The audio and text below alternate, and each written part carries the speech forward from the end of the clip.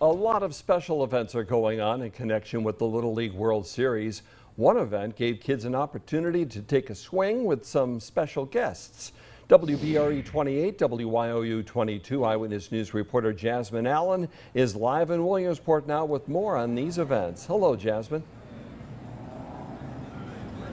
Hey, good evening, Mark. Yeah, baseball continues to be the center of attention around here. Right now, the city is celebrating Williamsport Welcomes the World, and earlier there was a wiffle ball game between local kids and a retired professional baseball player. This is Little League Baseball Week, and so we like to celebrate all things baseball here in Williamsport during that time.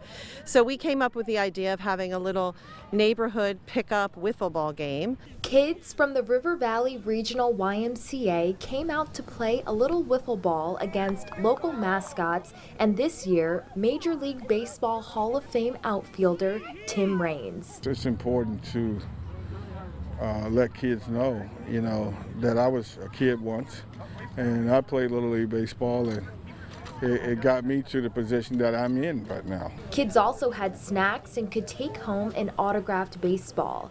Some say they loved being able to try something new with everyone from camp. It was fun to have all my friends here and it was really cool to be here. Even first timers say playing with Raines is something they'll never forget. It's an honor now that you think about it. Not usually 10 year olds like me don't get to do this special honor. Raines says it's all about starting young and encourages kids to work hard towards their dreams. If you can get uh, a good start, a good foundation, uh, being around good organization, uh, around you know great family, uh, it definitely uh, sky's the limit. UPMC, who partnered with the Williamsport Chamber of Commerce, says they plan on continuing this event for many years to come.